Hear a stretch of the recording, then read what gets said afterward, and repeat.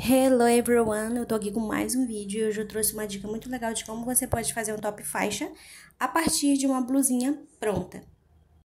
Eu vou usar essa minha blusinha de alcinha como molde, ela tem esse decote reto na parte de trás, então eu vou riscar abaixo do meu busto e depois eu vou dobrar a minha blusa e deixar apenas um, um top mesmo, como se estivesse na forma de um top, bem retinho. E onde eu marquei, eu vou dobrar. Vou pegar um tecido de malha dobrado e aí vou posicionar a minha blusinha em cima e vou fazer duas vezes o corte.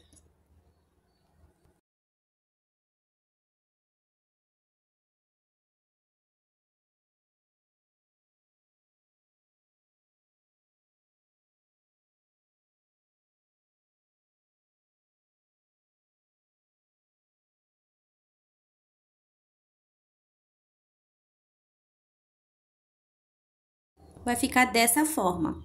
Tem duas partes aí. Vou repetir o mesmo processo, de modo que fique quatro partes. Porque minha intenção é fazer esse top forrado e bem firminho mesmo. Então, vou fazer dessa forma. Aí, já estão cortados. Tem duas partes aí e duas partes também aí. Agora, é só fechar as laterais. Bom, aqui eu tô mostrando pra vocês que eu já fechei as laterais usando o ponto zigue-zague da minha máquina doméstica. Observe que o top está virado do lado avesso. Eu vou pegar apenas essa parte e vou virar para o lado certo. E aí, eu vou encaixar dentro do outro top que está virado do lado avesso, de modo que fique direito com direito.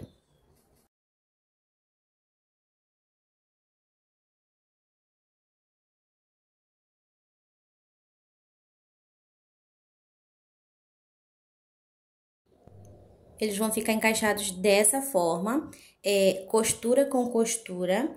E aí, o que, que nós vamos fazer? Apenas na parte de cima, nós vamos passar uma costura ao redor para fechar. Feito a costura ao redor, eu vou desvirar e vai ficar dessa forma. A princípio, vai ficar dessa forma. Aí, você vai virar para dentro, você vai ver que a costura de cima vai ficar embutida, certo?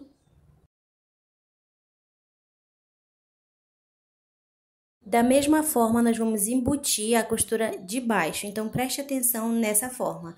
Eu vou abrir todo o meu top. Vou abrir dessa forma que a costura fique no meio para vocês entenderem melhor. Vou pegar a primeira parte, vou botar centralizada com a outra primeira parte. Depois, eu venho por cima e junto a costura com costura. E aí, eu vou costurando. Conforme eu for costurando essa parte, eu vou puxando o tecido e assim ela vai ficando embutida. Vou costurar também no ponto zigue-zague e conforme eu for fechando essa lateral, eu vou puxando o tecido que tá dentro do tecido e aí dessa forma vai ficando embutida, do jeito que vocês estão vendo aí no vídeo. Portanto, se não ficou muito bem entendido, você pode deixar aqui nos comentários que você não entendeu, que eu posso estar trazendo um outro pedaço de retalho de outra cor para ficar mais fácil de você entender. Porque eu acredito que o tecido preto acaba dificultando mesmo da gente entender um pouco como é. Mas se você entendeu, comenta aqui embaixo também.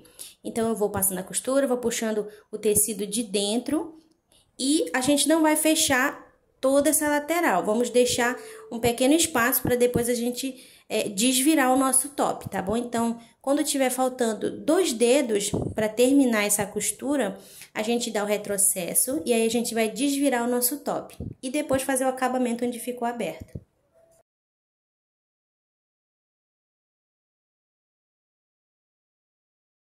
Como vocês podem ver, aqui acaba a costura. Então, eu vou medir aí dois dedos e eu vou fechar até aí onde eu tô marcando, para depois a gente desvirar, tá bom? A gente não vai costurar até o final, senão não tem como desvirar o top.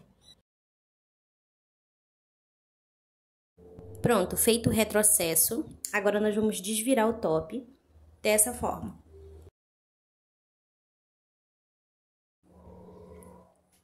Depois de desvirar o top, você pode perceber que a costura de cima, a costura de baixo, a costura das laterais, todas elas ficaram embutidas e apenas aquela aberturinha por onde a gente passou o top, a gente vai precisar fechar ela com uma costurinha reta.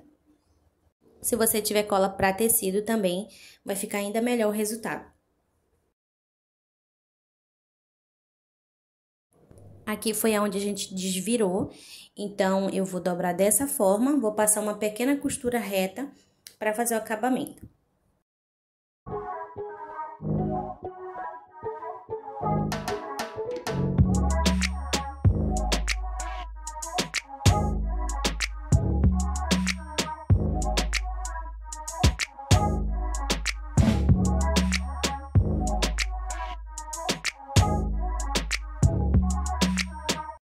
Obrigado por assistirem. Thanks for watching.